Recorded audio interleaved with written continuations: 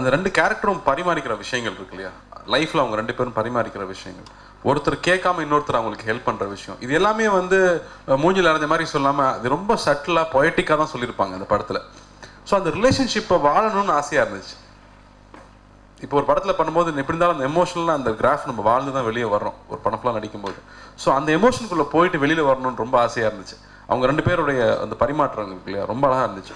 அதுவும் இந்த ரெண்டு கேரக்டரும் வந்து இவன் பேசுறது வந்து இப்போ நான் பேசுற வார்த்தைகள் நீங்கள் டைலாக் சொல்லி காமிச்சேன். அதுக்கு என்ன ரியாக்ட் பண்ண ஒரு மனுஷன்?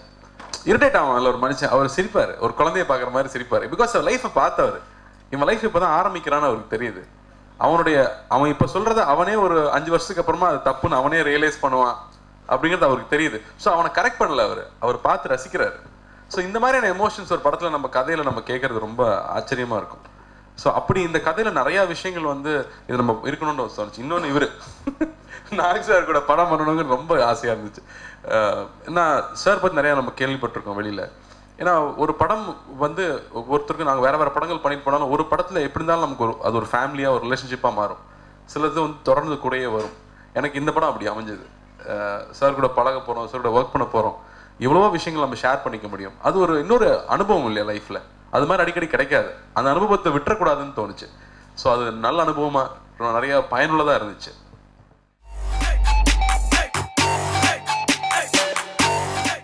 I danced through Karthi. through his eye, through his arms, through his legs. And I was feeling very jealous. Finally.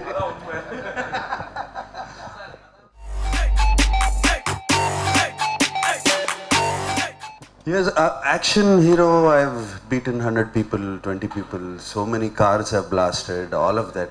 But this is the first time I'm sitting in a wheelchair and trying to express.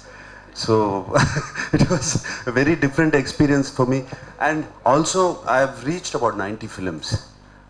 I've done all kinds of films. Now I want to, every film I do, I want to make it count.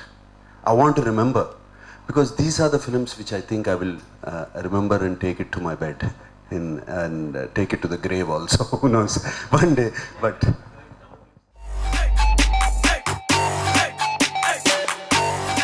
Yes, they always wanted to do. Uh, uh, um, there was, uh, I, Tamil, I, it had become very special for me because I started with a very, very special film here. And it had changed my life then. Till then, I was doing utter nonsense before that. They were all trash films with the regular ones where people told me, okay, you have to wear lipstick. I wore lipstick. You have to wear, do something. You cannot wear jeans pants. I didn't wear jeans pants, you know. And uh, you cannot grow a stubble. I didn't grow a stubble. But suddenly Mani sir said, I want a beard. You know, I want you to wear jeans and I want you to wear Nike shoes. And that's what, at, at that time, I knew that's what the youth was thinking for, waiting for. So, it, I became very special, it became a very special, life changing film for me. And, um, mm, and the second film also was another uh, uh, path breaking film, uh, Udayam. And after that, uh, mm, Rakshagan came. The reason I worked in Rakshagan was I never worked with A.R. Rahman before. And when they said A.R. Rahman was a music director, I immediately said yes. I had wanted to work with him, I wanted to dance to his tunes.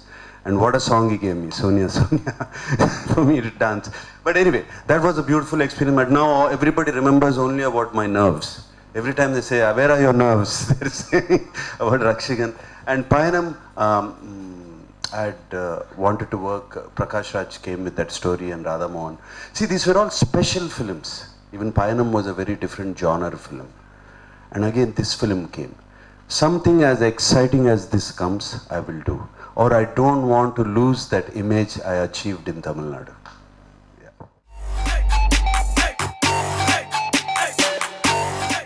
நான் கதை எழுதுறது இல்லைங்க. கதை வர்ற கதைகளை தான் தேர்ந்தெடுத்து பண்ணுறோம் இப்போ வந்து எல்லாமே வந்து ஏதோ ஒரு இன்ஸ்பிரேஷன் தான் சார். இப்போ ஒரு இங்கே ஒரு ஊரில் உட்காந்து ஒருத்தர் கதை எழுதுறாரு. இப்போ கொம்பன் கதை எடுத்துட்டிங்கன்னா முத்தையாவோட அப்பாவுக்கும் அவங்க தாத்தாவுக்கும் நடந்த சண்டையை இன்ஸ்பயர் ஆகி தான் ஒரு கதை எழுதாங்க அந்த மாதிரி இந்த படம் இ- ஒரு ட்ரூ இன்சிடென்ட் ஒரு ட்ரூ இன்சிடென்ட் ரெண்டு பேர் உண்மையாகவே அவங்க லைஃப்பில் நடந்ததை ஒரு சினிமாவாக எடுத்து அது ஹிட் ஆயிருக்கு. அது ஒரு இன்ஸ்பிரேஷனாக இருக்குது இப்போ அதை எடுத்துக்கிட்டீங்க அப்படியே ஈ காப்பி அடிக்கல. அந்த படத்தில் அந்த ரெண்டு கேரக்டரோட எமோஷனை எடுத்துக்கிட்டு இங்கே மறுபடியும் ஃப்ரெஷ்ஷான சீன்ஸ் எழுதியிருக்கோம். புது சீன்ஸ் எழுதியிருக்கோம். அந்த கதாபாத்திரங்களுடைய மற்ற டைமென்ஷன்ஸ் இருக்கு இல்லையா? ஒரு மனுஷனோட லைஃப்பில் இருக்கிற அடுத்த டைமென்ஷன் அதையெல்லாம் இதில் எக்ஸ்ப்ளோர் பண்ணியிருக்கோம். அதில் இருக்கிற ஹியூமர் ஆட் பண்ணியிருக்கோம். ஸோ இதில் கிரியேட்டிவிட்டி இல்லாமல் கிடையாதுன்னு நான் சொல்ல வரேன் ஸோ இதில் வந்து இந்த சொல்லப்பட வேண்டிய கதை எல்லாரும் பார்க்கப்பட வேண்டிய கதைன்னு எனக்கு தோணுச்சு இந்த படம் பார்க்கும்போது. அது நீங்கள் சொல்ற மாதிரி ஆ. அப்படி இல்லைங்க நிறைய நிறைய கதைகள் வந்துட்டே தான் இருக்கு வெளியே வந்துட்டே இருக்குது. எனக்கு இது வந்துச்சு இதை நான் வேணாம்னு சொல்ல முடியல நான் அதை பண்ணேன். இப்போ எனக்கு அடுத்த படங்கள் பண்ணிட்டீங்கன்னா இப்போ கோகுல் எழுதுற கதை வந்து ஃப்ரெஷ்ஷாக அவர் எழுதுன கதை தான். அதுக்கப்புறம் நான் வினோத் பண்ணுற படமோ இல்லை மணி சார் படமோ எல்லாம் அவங்கவுங்க ஃப்ரெஷ்ஷாக எழுதின கதைகள் தானே தவிர இது வந்து ஒரு ச- ஒரு சந்தர்ப்பத்தில் இது நிகழ்ந்திருக்கு அப்படிதான்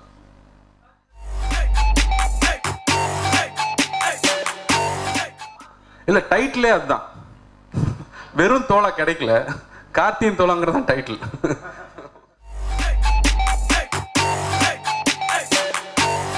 Uh, my yes, yes. yes. My next film, I'm uh, uh, um, um, doing a film on Balaji Tirumala uh, Venkateswara Swami. Uh, it is about one of his devotees called Hathiram Baba. Uh, it's placed back in the 18th century. It's a very interesting story about him, how he's come from Rajasthan and settled down in uh, uh, Tirumala. So that's my next film. So I will be doing very, very, very different films. Every film has to count.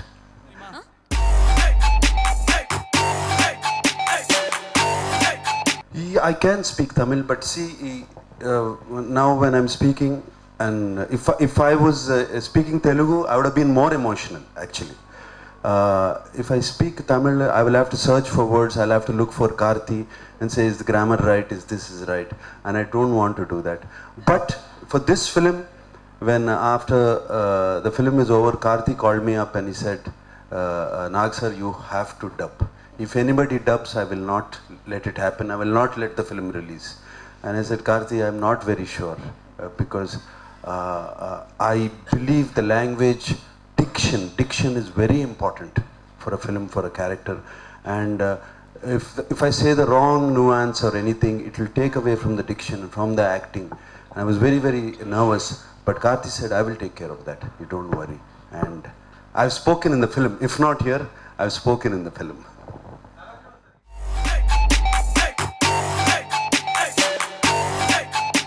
நடிப்பை பற்றின டிப்ஸுங்கிறத விட லைஃபுக்கு தேவையான நிறைய விஷயங்கள் sir நிறைய நமக்கு doubt வரும் இல்லையா? நம்ம பண்ணுற விஷயம் சரியா? நமக்கு மனசுக்கு சரின்னு படுது சார் இது பண்ணுறது கரெக்டா அப்படிங்கிற டவுட் நமக்கு எல்லாருக்கும் வரும். அண்ணாக்கிட்டே இந்த விஷயங்கள் கேட்பேன். இப்போ நாக் சார் நிறைய எக்ஸ்பீரியன்ஸ் இருக்காரு. அவரும் வந்து என்ன மாதிரி அமெரிக்காவில் போய் படிச்சுட்டு வந்திருக்காரு. அவரும் இன்ஜினியர் அவரும் சினிமாக்குள்ள வந்திருக்காரு. அப்போ ஒரு தாட் ப்ராசஸில் நான் கேட்பேன். நிறைய விஷயங்கள் கேட்டு தெரிஞ்சுக்கிறேன். இந்த மாதிரி சுச்சுவேஷன்ல இப்படி தான் சார் பண்ணேன். அது சரியானா இல்லை கரெக்ட் தான் அப்படின்னு சொல்லும்போது ஒரு பெரிய ரீஎஷூரன்ஸ் இல்லை இல்ல அப்ப நம்ம கரெக்டான பாதையில போயிட்டு இருக்கோம் நம்ம கரெக்டான விஷயங்கள் பண்ணிட்டு இருக்கோங்கிற ஒரு பெரிய ரீஅஷூரன்ஸா இருந்தது சார் நிறைய விஷயங்கள் எடுத்துக்கிட்டது.